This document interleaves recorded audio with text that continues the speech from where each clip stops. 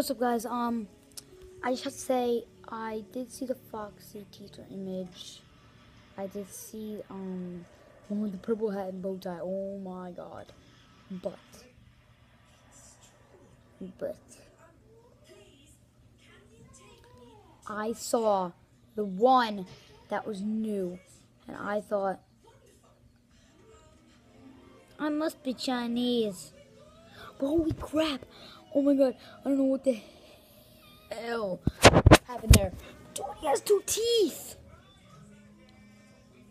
And it says, or was it me on the side?